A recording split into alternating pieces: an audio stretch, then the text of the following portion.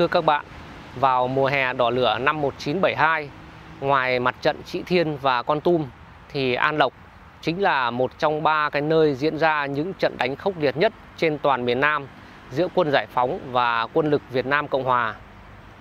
Những cái trận đánh cận chiến giành giật nhau từng con phố, từng căn nhà trong nội ô của cái thị xã nhỏ bé An Lộc vùng biên này đã gây ra thương vong lớn cho cả hai bên. Những binh sĩ còn sống của Liên đoàn 81 biệt cách nhảy dù Việt Nam Cộng Hòa, họ đã phải lập một cái nghĩa trang ngay trong lòng thị xã để chôn cất những binh sĩ tử nạn đã nói lên cái sự khốc liệt ấy. Trong video ngày hôm nay thì ờ, tôi mời các bạn chúng ta sẽ cùng tìm hiểu diễn biến trận đánh năm xưa và thăm lại cái địa danh An Lộc hiện nay nó như thế nào.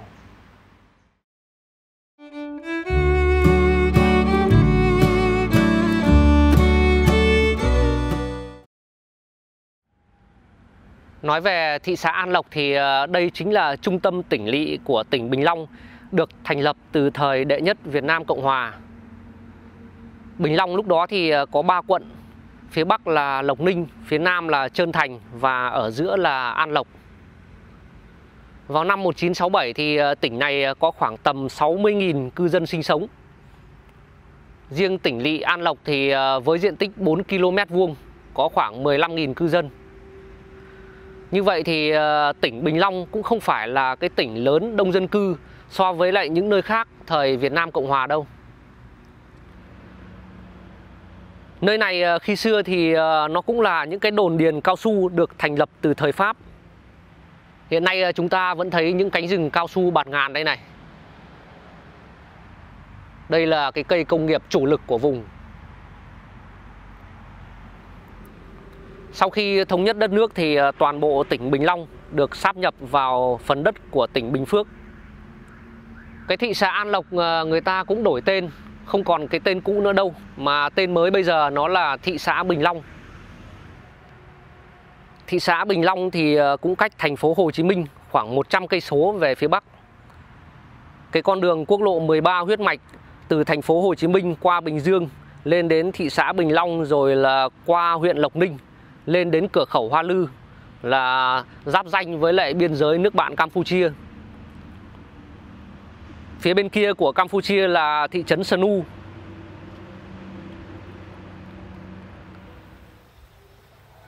Trận An Lộc thì à, nó là một cái chiến dịch kéo dài từ tháng 4 đến tháng 6 năm 1972. Mục đích của quân giải phóng mở chiến dịch này là nhằm mở rộng vùng kiểm soát cũng như là đánh bại những lực lượng tổng trừ bị tăng viện và các cái lực lượng chủ lực của quân đoàn 3 Việt Nam Cộng Hòa. Tham gia chiến dịch ban đầu có 3 sư đoàn chủ lực là 579, bộ đội địa phương đặc công, pháo binh phòng không và tăng thiết giáp. Tổng quân số của quân giải phóng khoảng tầm 35.000 binh sĩ.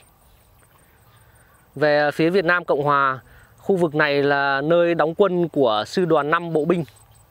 Một liên đoàn biệt động quân rồi là địa phương quân. Quân số ở An Lộc và các cái vùng phụ cận ở đây thì ờ, khoảng tầm 7.500 binh sĩ. Sau khi mà chiến dịch nổ ra thì ờ, Việt Nam Cộng Hòa, người ta bố trí một cái lực lượng khoảng 25.000 binh sĩ tăng viện. Như vậy thì ờ, cái lúc cao điểm nhất ở đây tương quan lực lượng cũng khoảng cỡ 11. Vào đầu tháng 4 năm 1972, quân giải phóng đã bố trí sư đoàn 5 bộ binh tấn công cái quận Lộc Ninh là vùng đất nằm phía bắc của tỉnh Bình Long. Chỉ mất 3 ngày thôi thì ờ, quân giải phóng đã kiểm soát cái quận này. Những lực lượng của Việt Nam Cộng Hòa ở Lộc Ninh là người ta rút về An Lộc Tiếp đó, sư đoàn 7 quân giải phóng là người ta chặn cái quốc lộ 13 nhằm là cắt đứt cái đường tiếp vận trên cái đường bộ của Việt Nam Cộng Hòa, tạo điều kiện để cho sư đoàn 9 bao vây tấn công thị xã An Lộc.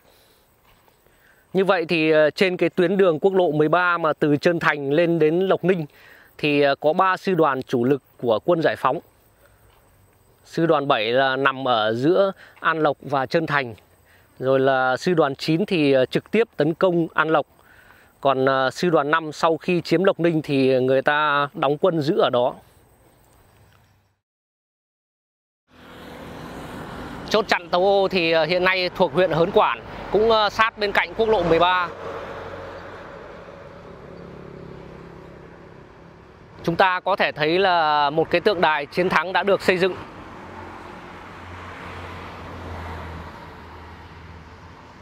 Di tích này ờ, cũng được xếp hạng là cấp quốc gia đấy. Từ đây mà về Trơn Thành thì còn khoảng 12 cây số. Trơn Thành là ở dưới chỗ này. Bây giờ chúng ta sẽ đi vào trong.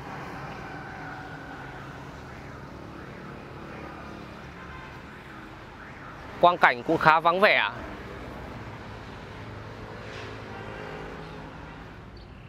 Ngay chính giữa, đó là một cái tượng đài. Phía sau là cái nhà lưu niệm.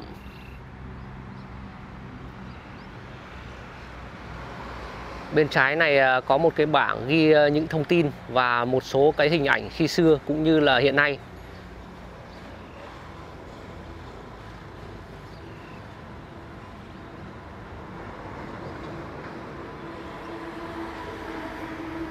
Sân bay Lộc Ninh. Một cái ngôi trường mà những cái vết đạn bắn nó lỗ chỗ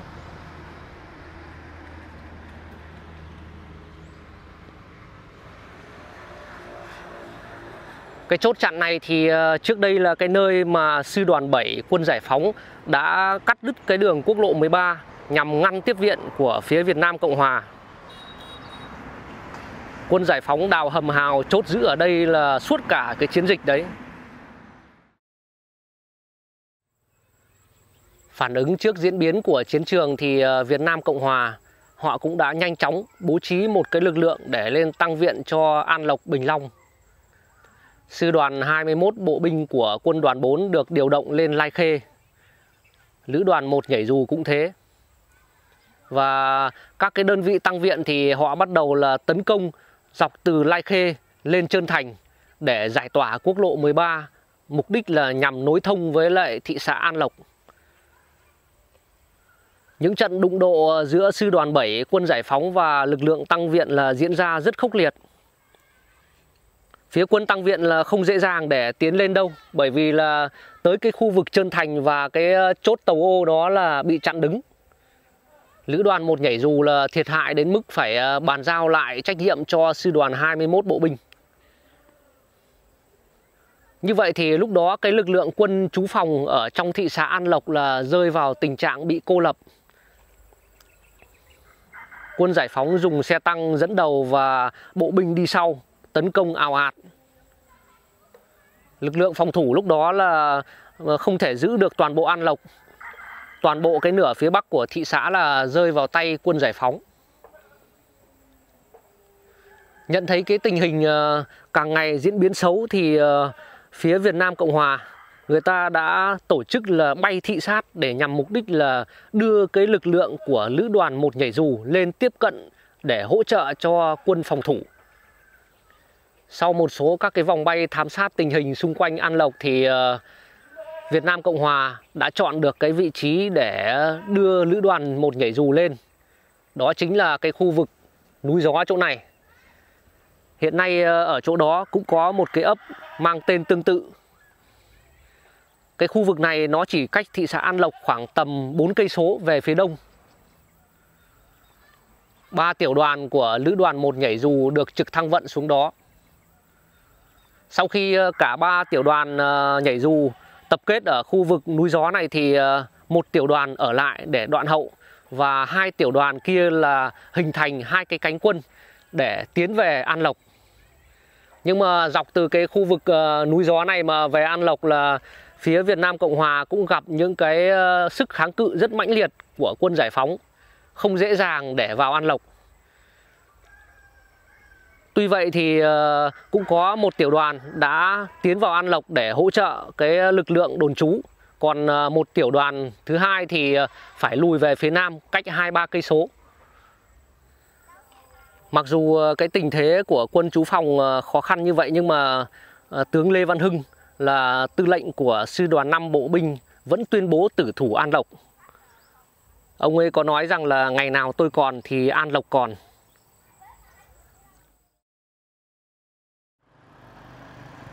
Từ quốc lộ 13 chỗ vòng xoay vào đến đây khoảng tầm 500 mét Con đường này ờ, hiện nay có tên là Trần Hưng Đạo Trước đây cái đường này ờ, nó có tên là Đại lộ Hoàng Hôn đấy Cuối cái đại lộ Hoàng Hôn xưa thì ờ, bây giờ là một trường tiểu học mang tên An Lộc A. Tôi quay cái chỗ này là bởi vì nó có một cái di tích trước năm 1975 Bây giờ mình sẽ đi vào gần hơn.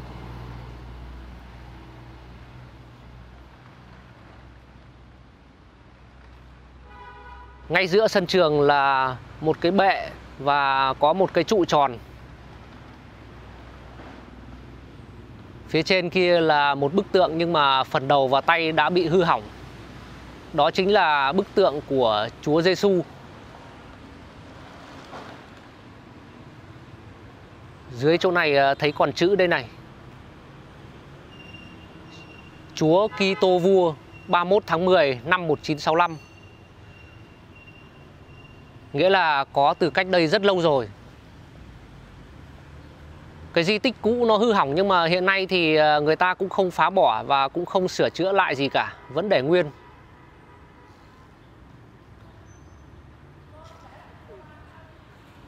Một dấu tích rất xưa cũ.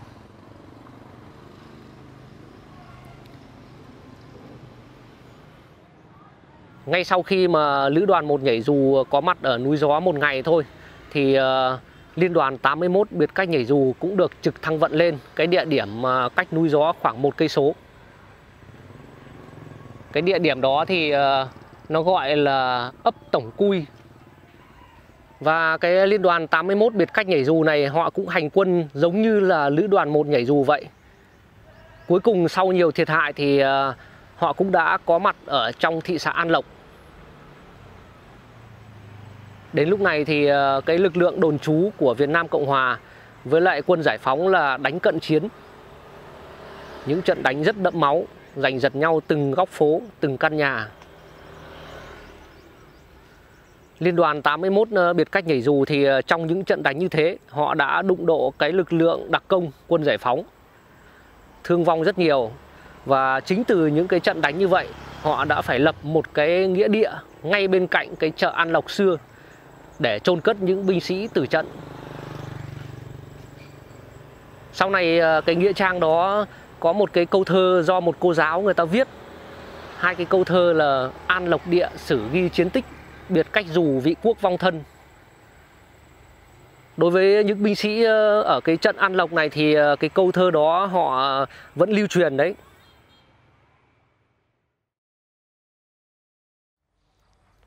Đây là quang cảnh phía bắc của thị xã An Lộc khi xưa. Cái ngọn núi chỗ này là núi Đồng Long đây. Về hai cái lực lượng là nhảy dù và liên đoàn 81 biệt cách nhảy dù có mặt ở An Lộc thì ờ, đây là hai đơn vị độc lập tác chiến khác nhau, chứ không phải là một đâu. Cũng là nhảy dù thôi nhưng mà sư đoàn nhảy dù khác và biệt cách nhảy dù nó là khác đấy sư đoàn nhảy dù thì ờ, họ có quân số là 4 lữ đoàn cơ. Còn uh, liên đoàn 81 biệt cách nhảy dù uh, cái thời điểm ở An Lộc này năm 1972 họ chỉ có khoảng tầm uh, chưa đến 1.000 binh sĩ. Cái liên đoàn 81 biệt cách nhảy dù uh, mục đích của họ ban đầu thành lập để nhảy toán sâu vào hậu phương quân giải phóng. Mục đích là thu thập tin tức tình báo rồi là phá hoại hạ tầng sau này ờ, đến thời điểm ờ, tháng 4 năm 1975 cái ờ, lực lượng biệt cách nhảy dù này có quân số khoảng tầm 5.000 cũng là cái đơn vị tan hàng sau cùng. Sự có mặt của hai cái lực lượng nhảy dù ở đây cũng cổ vũ tinh thần khá lớn cho quân đồn trú. Chiến trận càng ngày càng rằng dai kéo dài, ba bốn đợt tiến công. Quân giải phóng cứ sau mỗi lần tiến công thì ờ, bị thương vong, họ lại tiếp tục củng cố lực lượng và chuẩn bị cho lần tiếp theo. Trong những cái lần đánh ở nội ô thị xã An Lộc thì ờ, rất nhiều xe tăng của quân giải phóng bị bắn cháy. Cũng do là cái địa hình, hay là cái việc phối hợp giữa bộ binh và lực lượng tăng thiết giáp cũng chưa tốt. Có nhiều trường hợp là xe tăng trong quá trình hành quân đi nhanh quá thì ờ, bộ binh không theo kịp. Như vậy thì ờ, việc chiến đấu đơn lẻ ở trong thành phố là một cái bất lợi lớn. Gặp những ổ kháng cự với lại những cái khẩu súng mà chống tăng cá nhân thì ờ, khá nhiều xe tăng quân giải phóng đã thiệt hại. Lực lượng đồn trú của Việt Nam Cộng Hòa trong thị xã An Lộc thì đã nhiều ngày họ không được tiếp tế đạn dược lương thực cũng như là tải thương Do vậy thì ờ, nếu mà quân giải phóng tổ chức được thêm những cái đợt tấn công nữa thì có lẽ lực lượng này sẽ không trụ vững và tan vỡ. Về cái ờ, tiếp tế thì ờ, phía Việt Nam Cộng Hòa họ sử dụng máy bay bay ở cái trần cao ngoài cái tầm khống chế của lực lượng phòng không.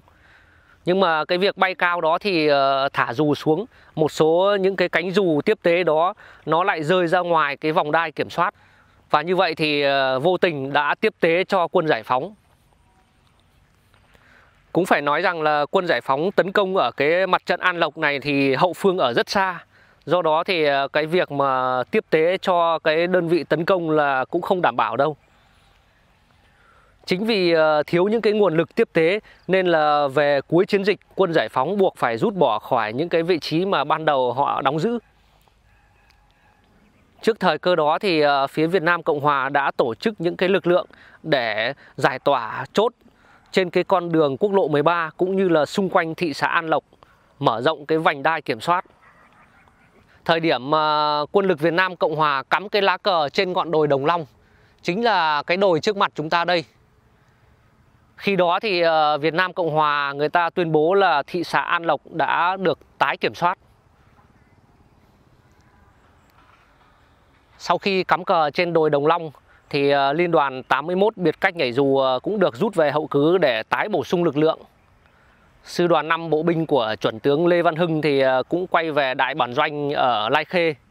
Thay thế là sư đoàn 18 của đại tá Lê Minh Đảo từ Xuân Lộc đưa lên.